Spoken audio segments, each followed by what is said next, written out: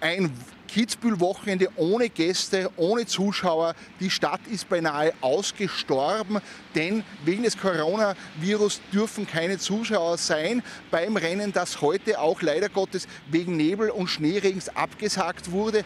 Aber morgen geht's los mit der Abfahrt und das wird dann wirklich absolut spannend. Aber wie geht es eigentlich den Hoteliers, den Gastronomen hier in Kitzbühel? Ein Skiwochenende, ein Weltcup-Wochenende ohne Gäste. Ich habe Christian Harisch bei mir. Er ist äh, Hotelier hier in Kitzbühel.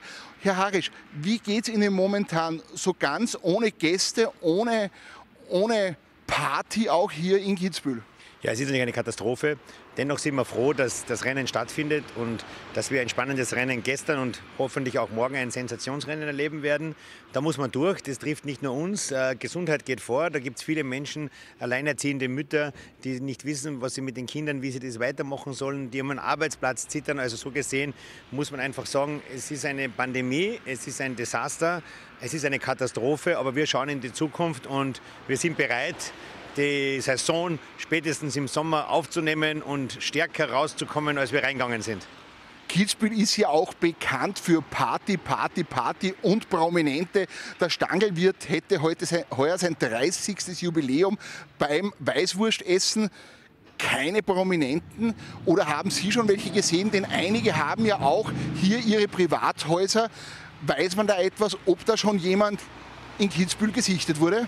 Für uns sind die Skirennfahrer die Prominenten, der Sport ist bei uns der Prominente. Und sonst sind Gäste Gäste. Ob die besser bekannt sind, weniger bekannt sind, ist für uns völlig unerheblich. Die Stars sind die Sportler und die stehen im Mittelpunkt. Und die sind da und darüber sind wir glücklich. Wie glauben Sie, wird es morgen beim Rennen? Wer ist Ihrer Meinung nach der, der den Sieg einfahren könnte? Österreich wird morgen zurückschlagen. So viel steht fest.